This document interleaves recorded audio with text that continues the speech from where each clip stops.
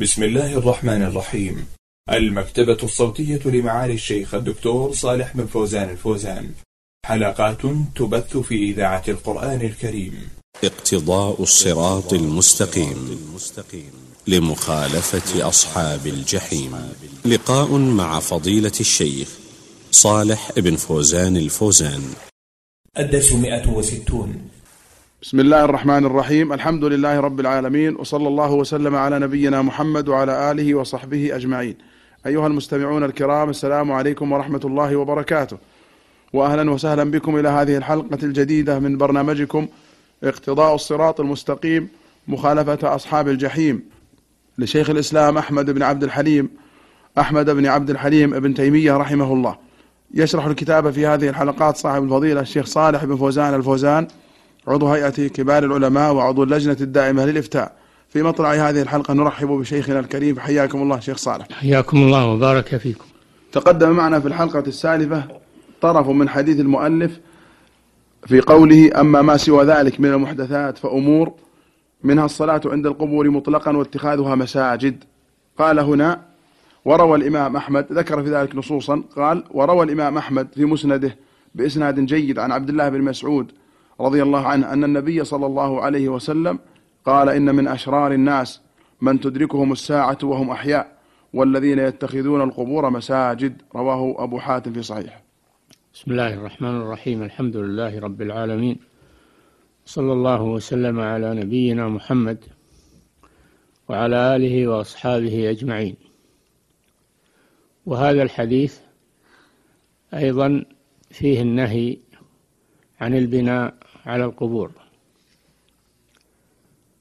وذلك قوله صلى الله عليه وسلم إن من شرار الناس من تدركهم الساعة وهم أحياء والذين يتخذون القبور مساجد. في هذا الحديث وعيد شديد على من يبني على القبور. وذلك لأن النبي صلى الله عليه وسلم عده من شرار الناس. فهذا دليل على قبح فعله وأن فعله شر عظيم لأن البناء على القبور وسيلة من وسائل الشرك. وما حدث البناء على القبور إلا متأخرا. بعد مضي القرون المفضلة. وأول من بنى عليها الشيعة الفاطميون لما استولوا على مصر وبلاد المغرب فإنهم أحدثوا البناء على القبور. يريدون بذلك صرف الأمة عن دينها. وفي هذا الحديث أنهم شرار الناس. في أول الخليقة وفي آخرها. والنوع الثاني من شرار الناس من تدركهم الساعة وهم أحياء لأن الله جل وعلا يقبض أرواح المؤمنين قبيل قيام الساعة فلا يبقى على وجه الأرض مؤمن ويبقى شرار الخلق وعليهم تقوم الساعة فكون النبي صلى الله عليه وسلم قرن الذين يبنون المساجد على القبور قرنهم بمن تقوم عليهم الساعة ووصفهم بأنهم شرار الخلق. في هذا تنفير من البناء على القبور وزخرفتها والدعاية لها بأي وسيلة؟ لأن ذلك وسيلة إلى الشرك وسيلة إلى أعظم ذنب عصي الله به وهو الشرك. والوسيلة لها حكم الغاية فهذه غايتها الشرك بالله عز وجل. فالبناء على القبور محرم شديد التحريم سدا لذريعة الشرك. نعم. أحسن الله إليكم. قال رحمه الله وعن زيد بن ثابت رضي الله عنه أن رسول الله صلى الله عليه وسلم قال لعن الله اليهود اتخذوا قبور أنبيائهم مساجد رواه الإمام أحمد. وهذا أيضا فيه النهي الشديد عن اتخاذ القبور مساجد يعني مصليات صلى عندها سواء بني عليها مسجد أو لم يبنى كما يأتي. فالمراد بالمساجد هنا المصليات. فالمصلي وإن كان يصلي لله عز وجل لكنه إذا صلى عند القبر فإنه يستحق اللعنة. مما يدل على قبح هذا الفعل. لأن الفعل لأن اللعنة لا تكون إلا على كبيرة. من كبائر الذنوب. فإذا كان الذي يصلي لله عند القبور ملعونا فكيف بالذي يعبد القبور ويصلي لها؟ هذا مشرك الشرك الأكبر. لكن لما كانت الصلاة لله عند القبور وسيلة إلى الصلاة لها حرم النبي صلى الله عليه وسلم ذلك. سدا للذريعة. وأيضا وصف هذا بأنه من فعل اليهود. ونحن منهيون عن التشبه باليهود والنصارى. قال صلى الله عليه وسلم من تشبه بقوم فهو منهم. نعم. صلى الله إليكم. قال رحمه الله عن ابن عباس رضي الله عنهما قال قال لعن رسول الله صلى الله عليه وسلم زائرات القبور والمتخذين عليها المساجد والسرج. رواه أحمد وأبو داود والترمذي والنسائي. وهذا الحديث أيضا فيه النهي عن زيارة النساء للقبور النهي عن أمرين. النهي الأول نهي النساء عن زيارة القبور ولعن من فعلت ذلك. مما يدل على أن زيارة النساء للقبور أنه كبيرة من كبائر الذنوب استوجب اللعنة لأن زيارة القبور إنما هي خاصة بالرجال. بدليل هذا الحديث فالمرأة لا تزور القبور. والعلة والله أعلم لأن المرأة ضعيفة ولا تطيق الصبر إذا رأت قبر قريبها فقد يأخذها الجزع فيحصل منها من النياحة والجزع ما يحصل. وأيضا المرأة فتنة فإذا زارت القبور ربما أن الفساق يطمعون بها. كما هو مذكور الآن في البلاد التي تزور النساء فيها القبور وأن الفساق ينتهزون الفرصة معهن في هذا المكان. فلذلك استحقت المرأة الزائرة للقبور هذه اللعنة. مما يدل على أن هذا أمر كبير من كبائر الذنوب. وهذا ما عليه المحققون من أهل العلم. وذهب طائفة من العلماء إلى جواز زيارة النساء للقبور مستدلين بعموم قوله صلى الله عليه وسلم زوروا القبور فإنها تذكر بالآخرة. قالوا هذا عموم تدخل فيه النساء والجواب عن ذلك واضح أن هذا العموم مخصص بهذا الحديث ولا تعارض بين عام وخاص. قالوا لأن عائشة رضي الله عنها زارت قبر أخيها. قلنا هذا من فعل عائشة رضي الله عنها وهو اجتهاد منها. أخطأت فيه لأنه لم يبلغها النهي عن ذلك لم يبلغها النهي عن ذلك.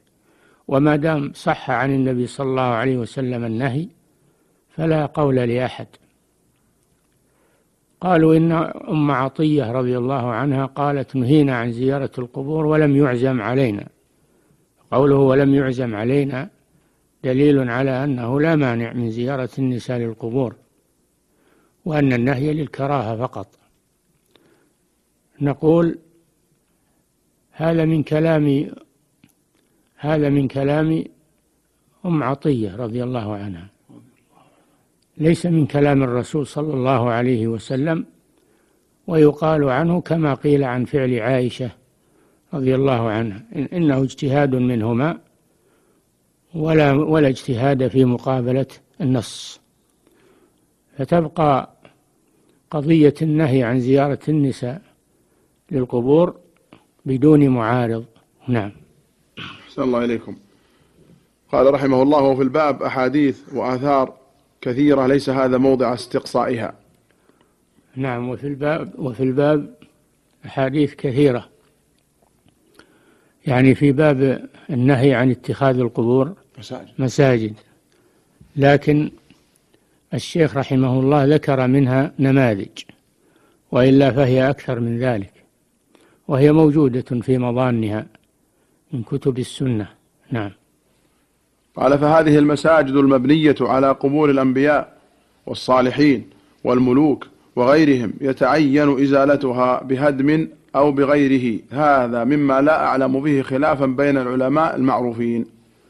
بناء على ذلك بناء على ما تقدم من ذكر الأحاديث الصحيحة في تحريم البناء على القبور واللعنة لمن فعله فإنه يجب هدم البناء على القبور.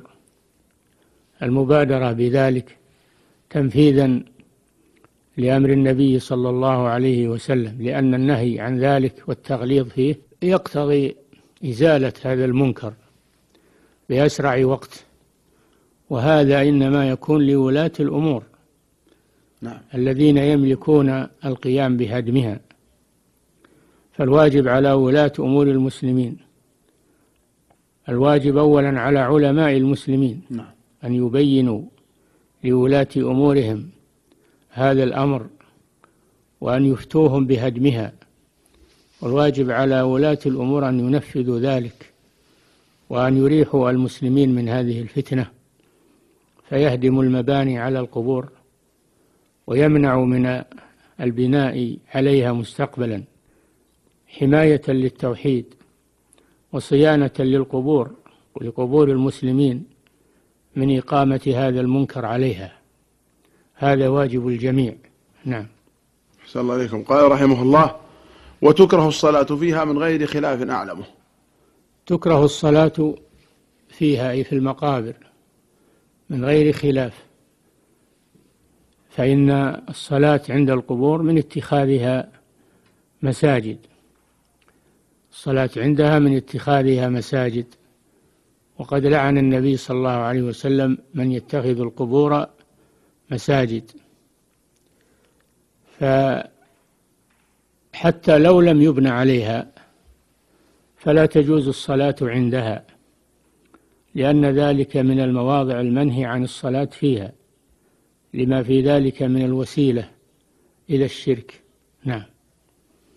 ولا تصح عندنا في ظاهر المذهب. مع أنها أنه يحرم الصلاة عند القبور فإن الصلاة لا تصح لأن النهي يقتضي الفساد.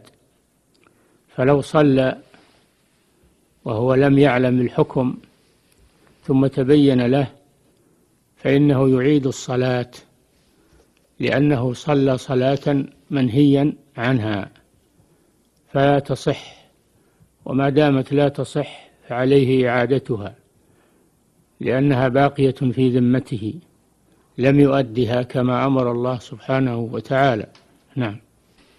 قال ولأجل النهي واللعن الوارد في ذلك لا تصح عندنا في ظاهر المذهب لأجل النهي واللعن الوارد في ذلك ولأحاديث أخر. نعم. وليس في المسألة خلاف. لكون المدفون فيها واحدا وإنما اختلف أصحابنا في المقبرة المجردة عن مسجد هل حدها ثلاثة أقبر أو ينهى عن الصلاة عند القبر الفذ وإن لم يكن عنده قبر آخر على وجهين؟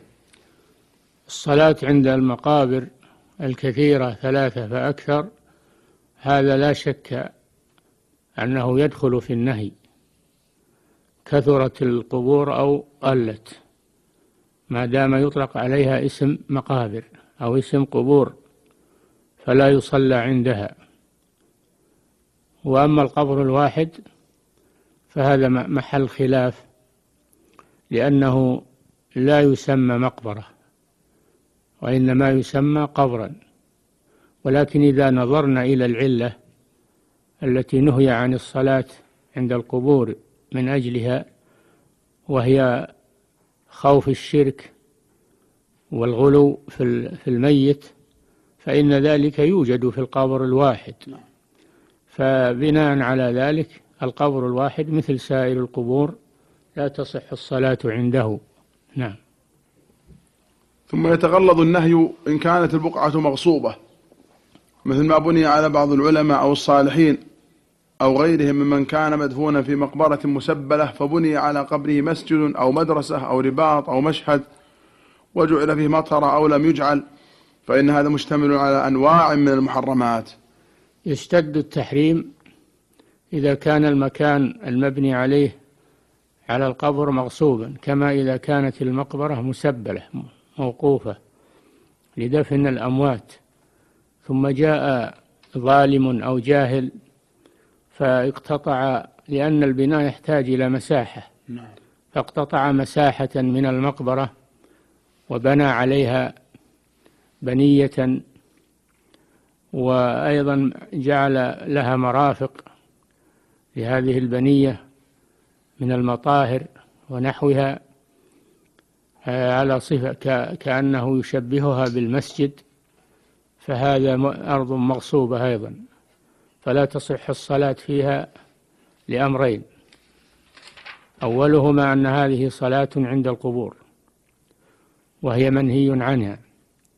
وثانيهما أنها أرض مغصوبة غير مسموح بها والصلاة في الأرض المغصوبة لا تصح لأن المصلي يستخدمها بغير إذن آه، صاحبها. نعم. قال فإن هذا مشتمل على أنواع من المحرمات. أحدها أن المقبرة المسبلة لا يجوز الانتفاع بها في غير الدفن من غير تعويض بالاتفاق. نعم لأن هذا وقف والوقف لا يجوز الانتفاع به إلا فيما وقف عليه.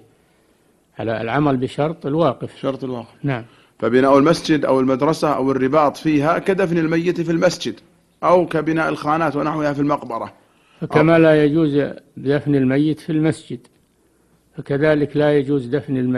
لا يجوز الصلاة في المقبرة لأن المسجد وقف فلا يستغل لغير العبادة والصلاة فلا يدفن فيه الأموات. وكذلك المقبرة وقف لا يجوز أن يبنى فيها مسجد لأن ذلك استغلال للوقف في غير موقفه. موقف له. نعم. أو كبناء الخانات ونحوها في المقبرة. بناء الخانات وهي محل محلات البيع الدكاكين ونحوها. لا يجوز بناؤها في المقبرة لأنها أوقاف. ما يقال لأن البيع والشراء في المقبرة عبادة أو أنه وسيلة من وسائل الشرك, الشرك. بل لأن فيه استعمالا للمقبرة في غير ما وقفت له, له. نعم. أو كبناء المسجد في الطريق الذي يحتاج الناس إلى المشي فيه. أو كذلك بناء المسجد في المرتفق الذي الناس يحتاجون إليه لأنه نهي عن الصلاة في قارعة الطريق لأن هذا يعوق السير ويسبب الحوادث. فكذلك بناء المسجد في وسط الطريق أو على جانبه مما يضيق الطريق ويؤذي الناس فإن هذا لا يحل لأن فيه استغلالا لمرفق من مرافق الناس. وتضييقا عليهم. وإن لم يكن هذا من وسائل الشرك فإنه يكون من الظلم من ظلم الناس. الثاني اشتمال غالب ذلك على نبش قبور المسلمين وإخراج عظام موتاهم كما قد علم ذلك في كثير من هذه المواضع. الأمر الثاني من كون البناء على من كون البناء في المقابر غصبا وظلما. أن هذا يؤدي إلى نبش بعض القبور إذا استدعى البناء عليها النبش كما إذا حفر للقواعد أو حفر للأعمدة فإن هذا يستدعي أو أو يحتاج إلى الحفر للساس لإقامة الأساس فإن هذا يستدعي أن أن تنبش قبور وتزال من أماكنها. وهذا ظلم للأموات وانتفاع للوقف بغير ما خصص له وظلم للمقبور الذي ملك هذا المكان الذي دفن فيه, فيه. نعم. الثالث أنه قد روى مسلم في صحيحه عن جابر رضي الله عنه أن رسول الله صلى الله عليه وسلم نهى أن يبنى على القبور. الثالث من الأدلة على منع البناء على القبور النص على ذلك.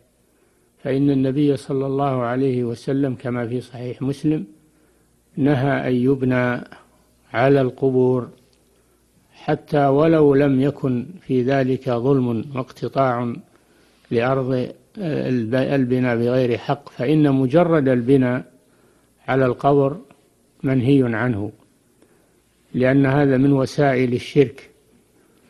ومن مشابهة اليهود الذين يبنون على القبور. نعم.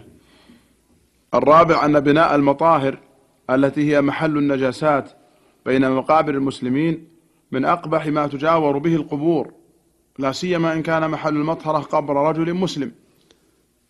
الرابع من الأدلة على تحريم أو من الموانع على تحريم البناء على القبور أن البناء عليها يقتضي أن يبنى مطاهر حولها أي محلات للوضوء لأنهم يريدون أن يصلوا في هذا المكان.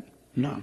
والمصلي لا بد أن يتوضأ فيوجدون له ميضأة وتكون هذه الميضأة أو هذه المطهرة على حساب الموتى. فهذا ظلم للأموات وإيذاء لهم وأيضا فيه محادة لله ولرسوله في في البناء على القبور. نعم. الخامس اتخاذ القبور مساجد وقد تقدم بعض النصوص المحرمة لذلك.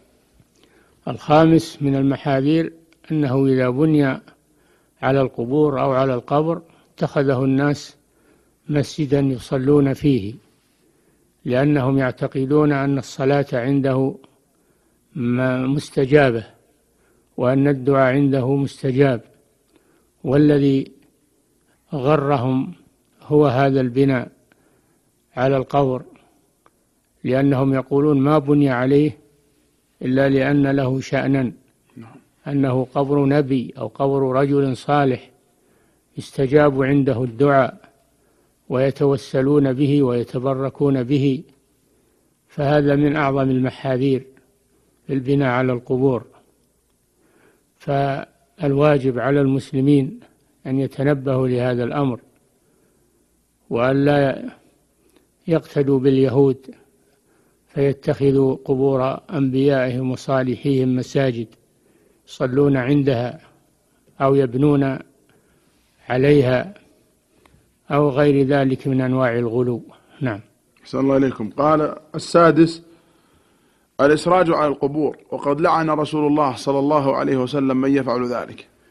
السادس مما ينهى عن فعله عند القبور أو مع القبور إسراجها وذلك بإضاءتها بالشموع أو مصابيح الكهرباء وإدخال التيار الكهربائي على المقابر فإن ذلك وسيلة إلى الغلو فيها وتعظيمها والمقابر ليست بحاجة إلى إلى إلى الإضاءة وإلى السرج.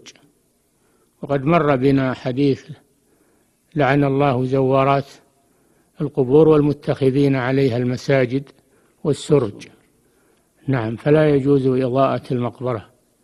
لكن لو احتاجوا جاءوا في الليل لدفن ميت احتاجوا إلى الإضاءة يكون معهم كشاف أو سراج فيدفنون الميت ثم يخرجون به ولا يبقى في المقبرة إضاءة لأن هذا وسيلة إلى الغلو وفيه جلب للزائرين والذين يتبركون بالقبور وما أسرع الناس إلى الفتنة إذا وجدت وسائلها نعم.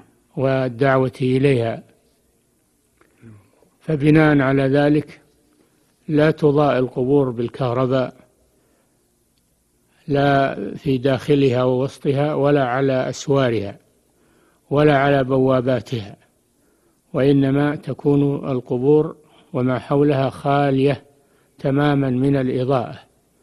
وإذا احتاجوا إلى الإضاءة في دفن ميت يأتون بمصباح متنقل معهم فيستخدمونه وقت الدفن ثم يخرجون به. نعم. أحسن الله إليكم. قال رحمه الله السابع يعني من المحرمات التي اشتمل عليها هذا العمل مشابهة أهل الكتاب في كثير من الأقوال والأفعال والسنن بهذا السبب كما هو الواقع.